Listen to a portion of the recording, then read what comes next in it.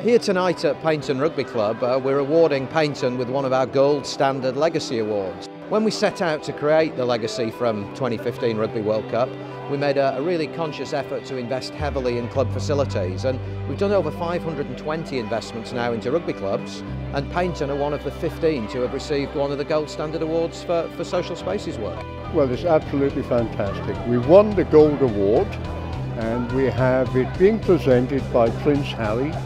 This is the first time that we've had loyalty down here absolutely fantastic. Projects like this help to grow the game in many ways. They help to bring more people through the doors and also really importantly it, it helps with the financial sustainability of the club.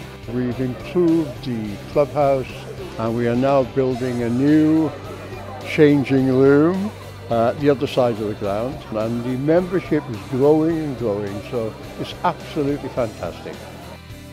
I think to Paignton as a club and Paignton as a town actually, this is a massive day for them and we can see by the, the large number of people that we've got around the club waiting to, uh, to get a glimpse of Prince Harry.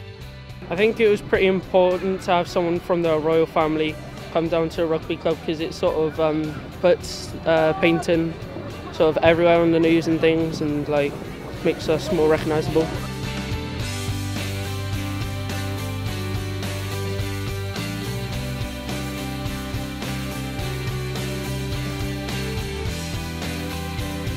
It's great that he's the patron of the All Schools programme. I've been a teacher now for sort of 15, 16 years, and of all the initiatives I've been involved with, I think the All Schools initiative is, is by far the best initiative in terms of targeting a particular sport, and in this case, rugby.